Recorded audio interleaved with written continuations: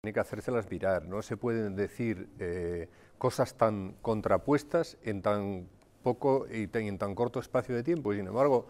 el presidente en funciones eh, las dice y se queda tranquilo. Y además, cosas de estas que son muy llamativas. Oiga, es que no se puede decir yo no podría dormir tranquilo y ahora decir que voy a dormir a pierna suelta, porque es imposible que eso sea así. Y por otra parte, es que él le ha hecho una campaña electoral durísima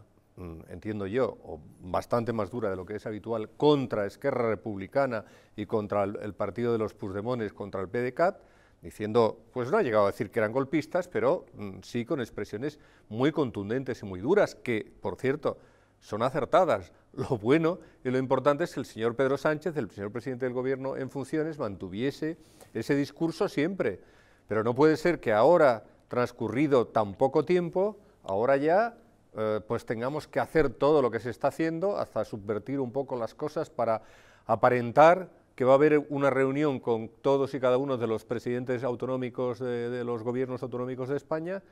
cuando el fondo de la cuestión es que le han pedido que se tiene que reunir con el señor Torra y por tanto va a hacer lo que sea para reunirse con el señor Torra, a, quien hace nada de tiempo pues no podía ni ver, porque ha dicho de él eh, todo lo que le ha parecido, y bien dicho, porque se merecía todo eso y mucho más. Oiga, pero entonces no podemos cambiar las cosas, sería mucho más coherente que usted haga lo que dice, por ejemplo, el señor Alfonso Guerra, que eso lo ha dicho con muchísima claridad. Es decir, en un lado están, en, determinados asuntos, en un lado están los constitucionalistas y, en otro lado los que quieren destruir al Estado español. Y ahí está el, el PDCAT, ahí está Esquerra Republicana y ahí están otros partidos que son claramente independentistas. Entonces, eh, en determinadas situaciones usted tiene que estar